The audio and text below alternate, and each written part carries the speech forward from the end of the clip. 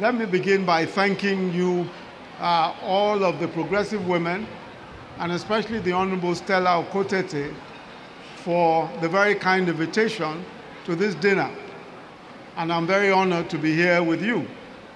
I also bring you the warm felicitations of the number one he for she champion in Nigeria, our president, President Muhammadu Buhari, and to demonstrate his commitment to that role as the he for she champion of Nigeria. Mr. President insisted that Nigerian that women must be given equal opportunities in all of our social investment programs so that of the 2.4 million beneficiaries of the government enterprises and empowerment program, 1.2 million were women. That is 56.4% of beneficiaries. Women are the heart and soul of our party, the APC, and we all know it. And who doesn't know that women are our most reliable voters?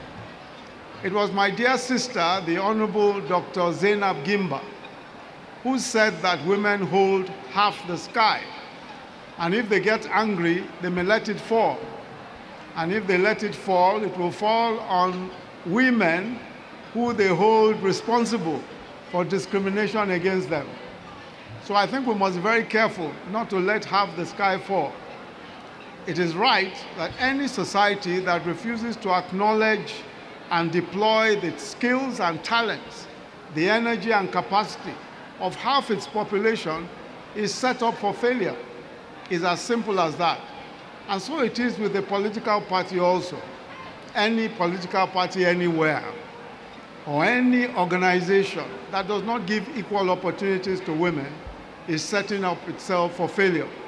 So I agree that we really have no choice but to recognize the crucial position of our women and resolve to give them equal representation.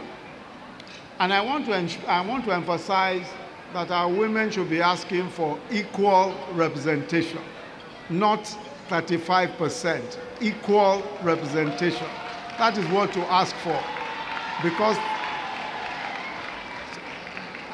I thought the women were I thought the women were busy eating. I didn't know you were still here. But anyway, equal representation is what we're asking for.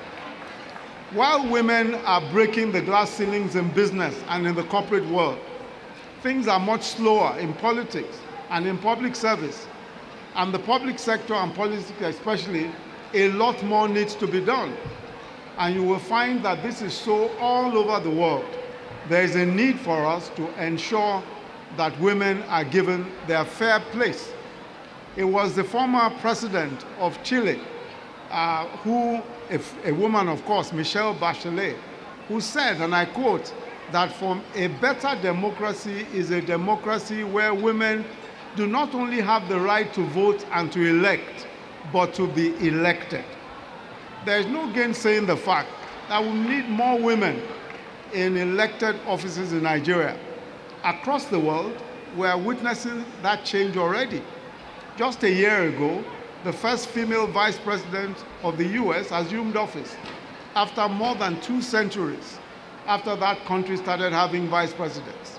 And right now, there are female presidents or prime ministers in Denmark, in Moldova, in Finland, in Iceland, in New Zealand, in Barbados, amongst others. There you have female prime ministers or presidents. In Barbados, in fact, both the president and the prime minister are women. So at the end of last year, you, we, we, we all heard of, um, uh, of the most powerful woman ever to hold public office, Chancellor Angela Merkel, who is honorably stepped down after occupying that chancellorship for the better part of two decades. All these are inspiring stories. And I think they send a strong message to our own women and women around the world that it is possible. There is nothing that men offer in leadership that women cannot offer. In fact, in fact, I'm sure some of us came across that recent study from India that found that electing women legislators actually contributes to slightly higher levels of economic output in the constituencies. And this is a well, this is a well publicized research. So I think everything sets us all up for ensuring that women have their fair place at the table. But when I looked at the theme of this conference, the theme says one voice, women uniting for progress. One voice, women uniting for progress. And it reminded me of the slogan that when women support women, great things happen. That is true. But when men help women to help women, greater things will happen. And I want you to, and I want you to, and to be sure that we men will support you so that much greater things will happen. Thank you very much. God bless you and enjoy the rest of the evening.